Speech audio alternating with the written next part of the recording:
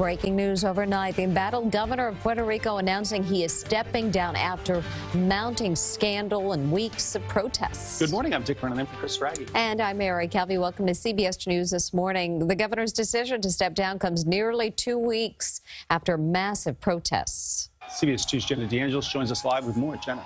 Dick and Mary, over the past two weeks, protesters have made their message clear. They would not back down until the governor stepped down, and their rallying cries were heard as he announced his resignation in a Facebook video late last night. Cheers erupted outside the governor's mansion in Old San Juan. The people of Puerto Rico waving flags, dancing, and breaking out in song after Governor Ricardo Rosselló announced he is stepping down. Que estaré renunciando al puesto del gobernador efectivo el viernes 2 de agosto del 2019.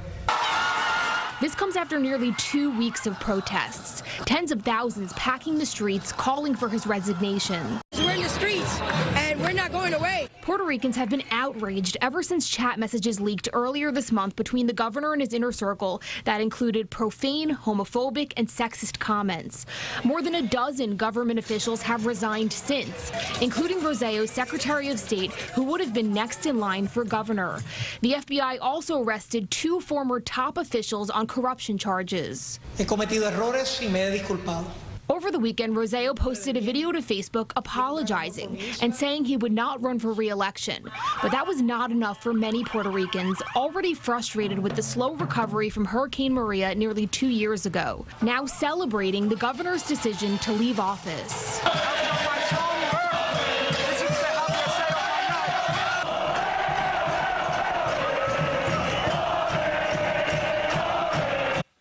The governor's resignation will take effect on August 2nd. Secretary of Justice Wanda Vázquez will take his place. Mary?